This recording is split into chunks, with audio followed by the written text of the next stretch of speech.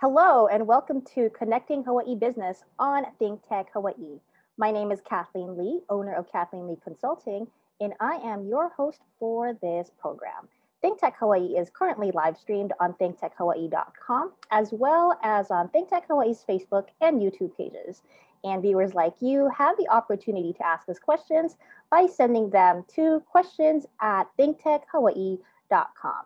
Now that we've gotten that intro out of the way, I am so pleased to introduce our guest for today. And it's great timing too. So as um, many of you may know, the Hawaii State Legislature wrapped up the 2021 session last Thursday. So here we, with us on the show is Representative Adrian K. Tam. Hey, Adrian, welcome to the show.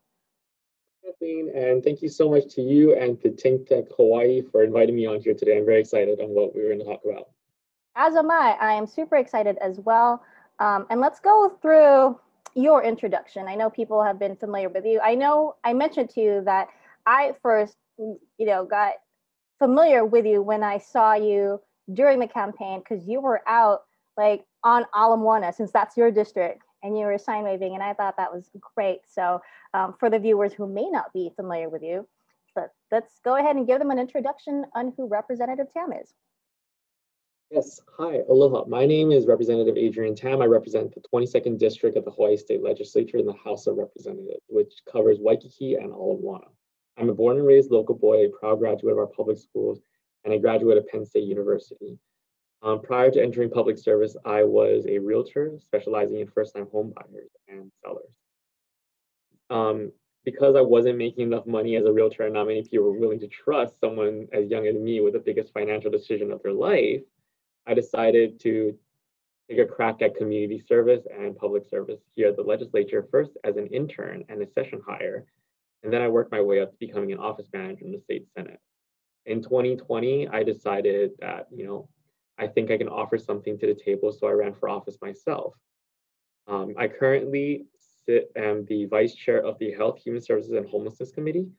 I am also the vice chair of the Culture, Arts, and International Affairs Committee and a member of the finance committee here.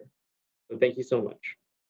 That's a that's a lot of committees, and I know um, from my short experience as a, a legislature staffer back in the day that you know freshman legislators do get in the finance committee to give them a, a great idea of of how the process works. So um, let's pull up that photo of you and your colleagues, your freshman colleagues. So tell us a bit about like how you guys have been and what the dynamic has been.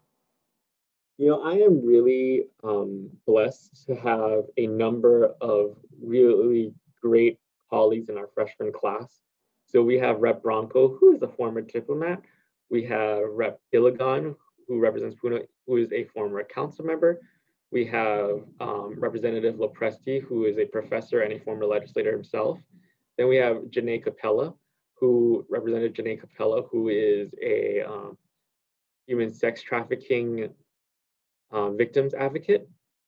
We have uh, Representative Jackson Sayama, who is the youngest in our group at 23 years of age. So I'm excited about his um, tenacity and his energy.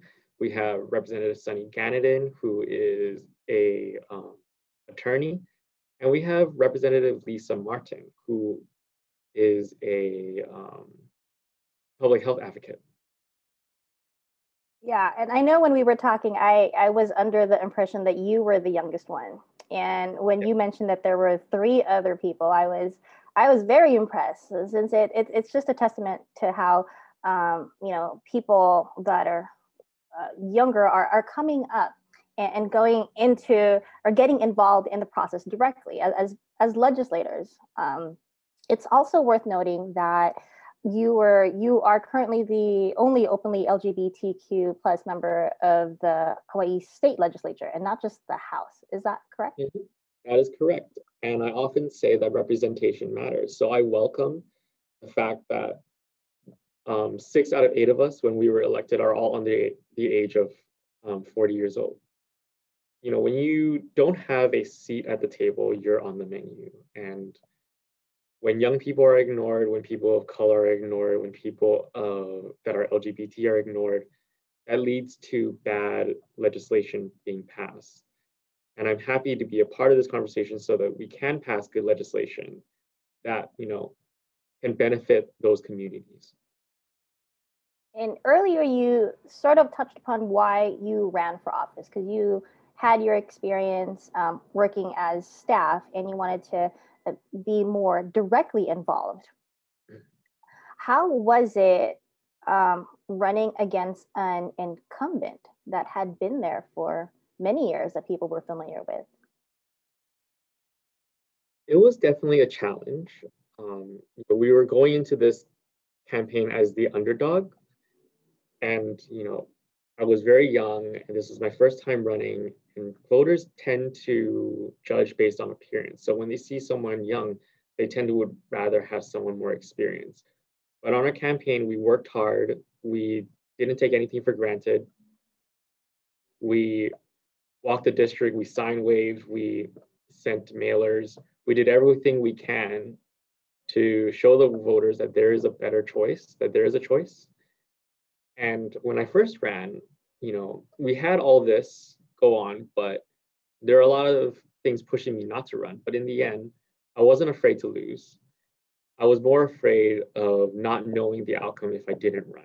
So I had to ask myself this question, which was, would I forgive myself if I didn't run? And the answer was I wouldn't. So the only other option was that I needed to run. That's a very uh, profound question to ask yourself. And I'm glad you responded to it by running and now you're in office. So let's go over a couple of the bills that you introduced this session. Um, I think you mentioned HB 286 as a, let's do that as a first bill. So tell us about that. So HB 286 would restructure the Hawaii Tourism Authority, and we've often talked about having more quality tourists instead of quantity of tourists. And I think that this bill would basically make tourists pay their fair share to contribute to our economy and to our government. Um, it would allow counties to charge up to uh, 3% of tax TAT taxes, and it would reduce funding to $60 million and have HTA primarily focused on marketing tourism. I think that this year is the year for us to kind of restructure our government. So this and a number of things were kind of the first step I voted with reservations because, you know, HTA is a big part of my community and I didn't know how that would affect my community, but there was a lot of things going for it, especially when we have to restructure our government and we have to take this chance to basically do this. And if it doesn't work, we can always come back and revert it back to its original form. The other thing that HB 286 does is that it would abolish the Office of Aerospace, but protect Pisces by moving Pisces to the University of Hawaii Hilo and the Challenger program to the DOE. So the Office of Aerospace um, didn't have that much staff in it. It was um, mostly obsolete. It's been there for a very long time now, I think over 12 years. And you know, it mostly was just office space and office supplies. So we had a huge budget deficit at the same time. So we wanted to take that funding back into the general funds so that we could fund programs like HIV prevention, we could protect sex assault treatments, uh, we could put more money into homelessness. So that's why I supported the bill. And you had another bill, on that note, you had another bill that touches upon social services. And I think you mentioned that was HB 282. And correct me if I'm wrong if I got that number wrong. Is that the right bill? That is correct. Okay, so, so let's go over that and why you decided to, you introduced this bill, yes? Yes, this okay. was a bill that I introduced. It um, would allow minors to consent to no cost emergency homeless shelters. So prior to um, today, prior to this bill, Hawaii was a right to shelter place, but that language kind of fell short of providing shelters to minors because by definition, minors could not consent to these shelters because these shelters were deemed unsafe for them. And I thought to myself, well, you know, would they be safer on the street? And the answer is no, because when you're on the street, you're subjected to violence, drugs, and human trafficking. Many of these minors, it's not their fault that they are unaccompanied or homeless. Um, they've been some of them have been kicked out of their family by their families over rejection. Some of them have uh, are escaping their household because of abuse, and some are, are escaping human trafficking.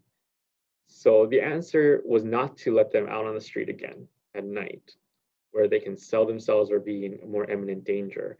And yes, occasionally you will have a minor that runs away from home um, just to kind of prove a point to their family, I guess. But regardless of those circumstances, I'd rather have that minor in a shelter than on the street. And under this bill, these no-cost emergency shelters will have to continue to keep a registry for um, whoever gets admitted, especially when they are a minor, and work with the Department of Human Services.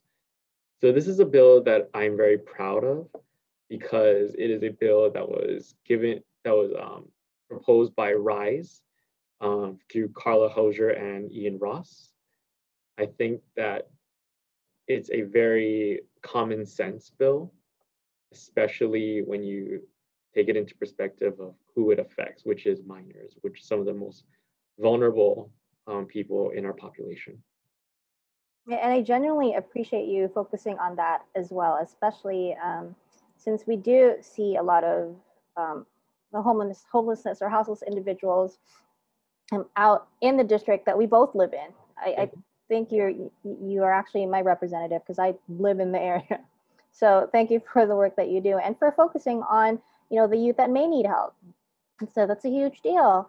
Um, there's another bill that you had mentioned, and we have a few more minutes before we go into break, but let's touch on that. So it is the uh, Centers Around Workforce Development, HB 1176. So go over that bill, your reflections on it, and why you think it's important.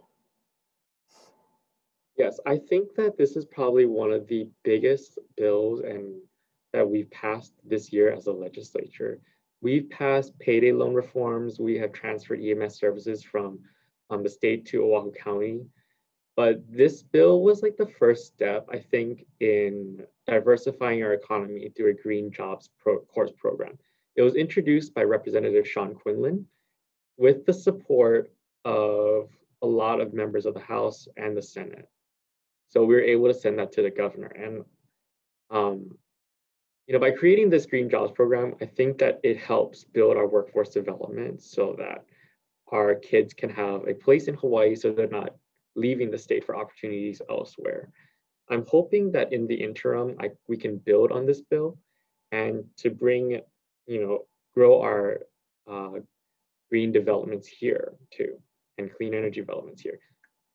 So I'm hoping that we could work with UH to establish a program or an exist or reform an existing program that would allow UH to develop and research green technology such as um, hydropower, smart grids, green infrastructure, um, and, except, and solar, and work with businesses and entities and to allow them to use those um, research and developments free of charge as long as they a, operate out of Hawaii. So they're headquartered here. And B, they hire a quota of the local workforce so that um, our people here have those jobs. So it creates jobs for our local people. It creates a new economy that is sustainable and can complement our tourism economy and it helps us meet our clean energy goals by 2045. That's absolutely wonderful, and especially it like with that bill coming um, in light of COVID nineteen, I think that'll be such a great contribution to the state of Hawaii's economy. Mm-hmm. Um, on that note, we are going to go on a short break, but when we come back, we will delve further into Representative Adrian K. Tam's reflections from the 2021 legislative session. Stay tuned.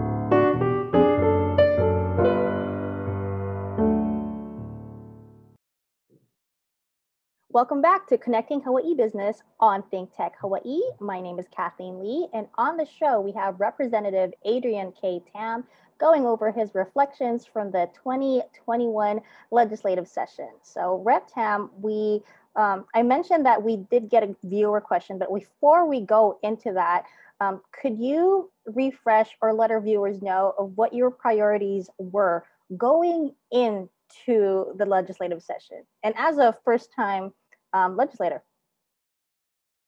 So, you know, as a first time legislature, we come in very optimistic, very green, as I say it.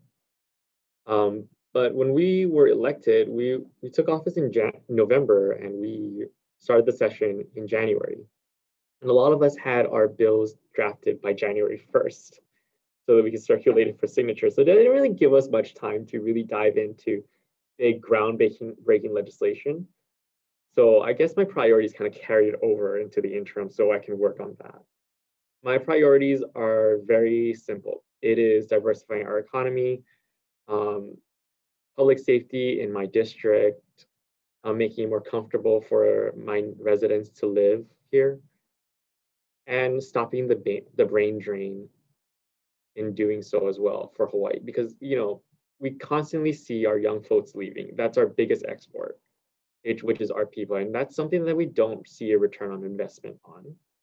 And that's why I'm focusing in solely on diversifying our economy, because I think that's like, in the long run, that has to be what we need to do so that we have an economy that is sustainable. And when something does crash, like our tourism economy has, there's something that we can fall back on.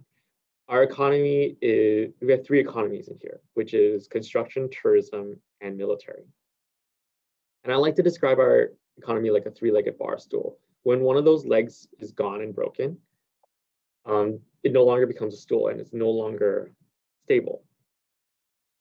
Well, we need to add a fourth stool so that when something is broken, that leg still holds it up and it still is a stool. So that's kind of like my biggest priority right now. Um, homelessness and public safety continues to be a big priority of my districts, and that's something that I continue to want to focus on. More recently in Waikiki, we saw a rise in um, criminal activity. And I think this is associated with the rise in tourism coming back because tourists are oftentimes the targets of crime because they don't come back for um, petty misdemeanor trials. And many people can often get away with it. I think that there is a way that we can fix this problem. It might have to be going through constitution, the Constitution, because um, technically, a defendant has a right to confront their accuser in person. Um, but we have to do something to make sure that it's safer and that we stop targeting our tourists um, and visitors. So, because ultimately when they target them, it falls back into the community of Waikiki.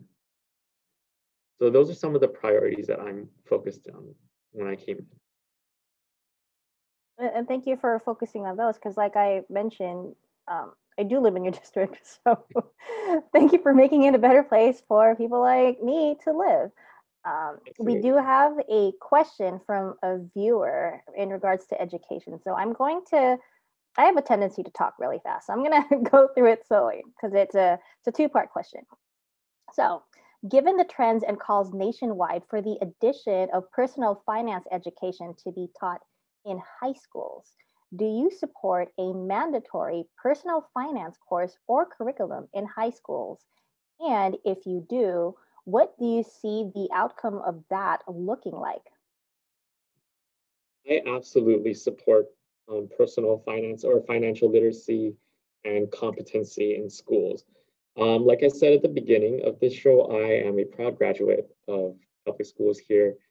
And I wish I had the opportunity to learn how to do taxes, to learn what a mortgage is, um, to learn how to take a, a loan, even just to learn how to play stocks. You know, I wish I learned all that.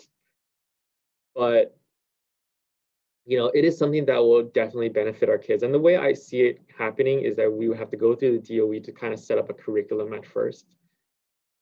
And then we need to add it to our curriculum and train our teachers on how to do it. So one thing we can do is partner up with the University of Hawaii's Shidler College of Business to kind of bring some of those resources into our public schools and to help train our teachers into teaching it as well. I think that's um, the first step, but I'm definitely open to how we can do that um, by working with my colleagues. I know a number of my colleagues have already been working on it. Um, Senator Bennette Misalucha has introduced a bill that would put financial literacy in our curriculum. Unfortunately, I don't think it made it a conference. Um, and Representative Sayama has also introduced a resolution calling on the DOE to establish such curriculum.